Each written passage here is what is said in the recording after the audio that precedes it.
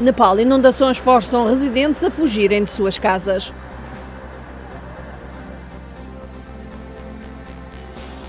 Paquistão, em Muripur, as mulheres prometem participar nas eleições deste ano em desafio aos homens que, desde 1947, as impedem de votar.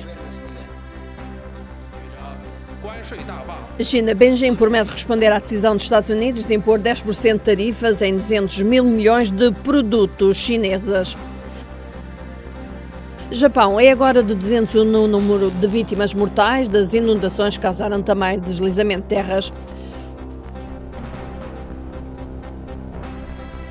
Croácia. Zagreb esteve ao rubro com os croatas a celebrarem a vitória na semifinal sobre a Inglaterra, que os coloca na final do Mundial de Futebol frente à França este domingo.